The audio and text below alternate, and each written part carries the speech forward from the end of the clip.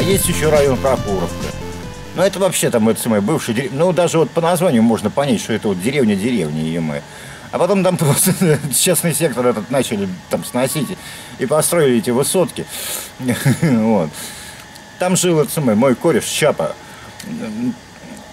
Вот, он все там, а, в один день со мной родился, просто в года разные.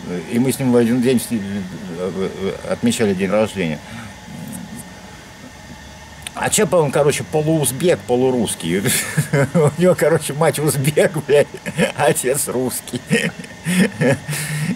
И он постоянно, блин, курил беспонтовую дурь.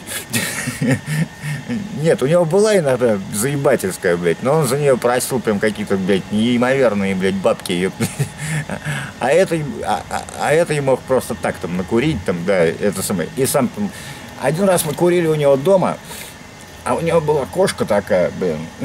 Ну, она, видимо, кастрированная, потому что растолстела. И она лежала на батарее на кухне. А мы в это время там начали, короче, пыхать. И эта кошка с батареей как пизды, блядь. Ну, видимо, кошки вставила там лихо, блядь. Потому что дурь была не беспонтовая, нихуя. А потом еще мы поехали в Брянск. И в Брянске, короче, мы выцепили каких-то кренделей, блядь, и взяли у них, блядь, по, стака, по стакану ганджубаса, блядь. Вот. А там ганджубас такой, блядь, дикий, блядь, просто пиздец, блядь. Я пыхнул часов в 6 вечера, а электричка была в 10, блядь. И меня перло всю дорогу, блядь, ёптать.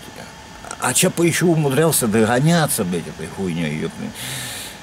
Нет, а я потом еще догнался один раз прям в электричке в этой ебучей. И до Орла я как бы доехал, блядь, нормально. На мягких лапах я приехал, орел, да.